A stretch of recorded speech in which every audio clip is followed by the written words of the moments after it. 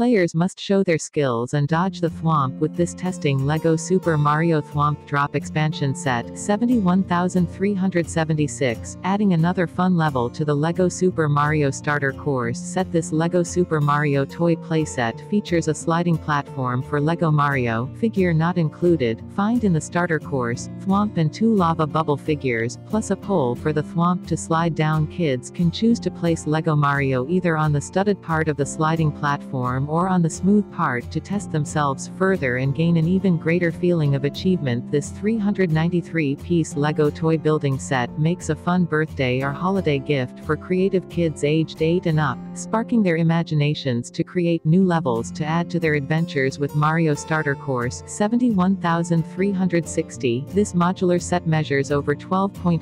32.5 centimeters high 10.5, 27 centimeters wide and 7 inches 17